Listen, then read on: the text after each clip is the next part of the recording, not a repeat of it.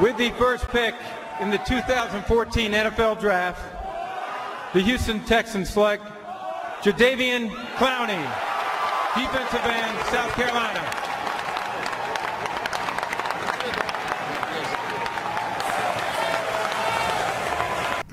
Jadeveon Clowney, the 6'5", 270-pound defensive end out of South Carolina, was drafted number one overall, but has he lived up to the pick? Clowney was a top prospect in college.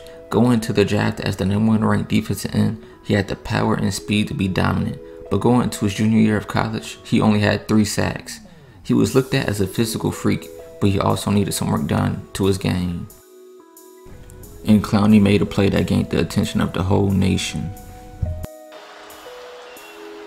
Pressure! Clowney just dives in, hits the defender, the ball's on the ground. Gamecocks have it! The Gamecocks have it! The Gamecocks take it over! Clowney just now the Texans came into the draft at 2 and 14 and they needed a franchise player in which they already had one in JJ Watt, who had two 26 seasons in a three-year span and also won two Defensive Player of the Year awards and was even a candidate for league MVP. In my personal opinion, I think the Texans seen how JJ Watt was playing out of his mind and wanted to pair him with another talented pass rusher in Clowney. During his rookie year, a knee injury caused Clowney to miss pretty much the whole season. And in 2015, he got the ball rolling. He suffered a few minor injuries but managed to still play in 13 games and started in 9 of them, and totaled 4.5 sacks. Nothing special considering coming off an injury can change how you play. In 2016, still couldn't shake the injury bug off, but he played 14 games racking up 6 sacks and 40 tackles. Now at this point, Clowney is making great progression in the right direction, and his best season has yet to come. The Texans finished 9-7 making the playoffs. But to give credit when it's due, Clowney dominated against the Patriots in the divisional round.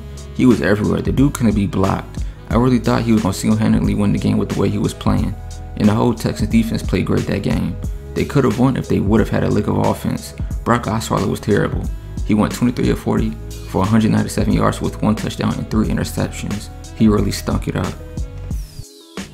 In 2017, he had a semi-breakout year. Yes, it was his best year, but the fact that he's still a number one pick, I think he just could have done just a little bit better.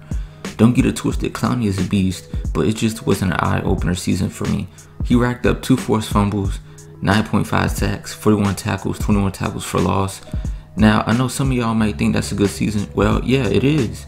He just could have gained at least about two to four more sacks, and then, you know, his season would have been great. While Clowney is finding his way as a pro, JJ Watt has had a few injury problems himself.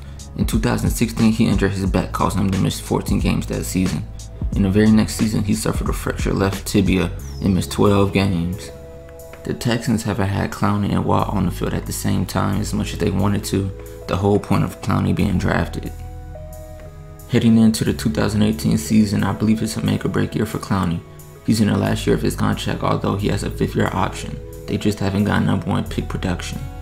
If the Texans were to redraft, I'm sure as hell they're going another direction with the pick. They could have got Derek Carr because Matt Schaub wasn't getting the job done. And even if they were to still draft a defensive player, Khalil Mack and Aaron Donald were also in the draft class as well, and both have won Defensive Player of the Year and proved to wreck offenses. It seems that the Texans let the hit against Michigan be the determining factor in their decision. I understand that the Texans run at 3-4 and Clowney has had to play linebacker at times, we all heard how great he is against the run, but they don't draft edge rushers number one overall just to play well against the run.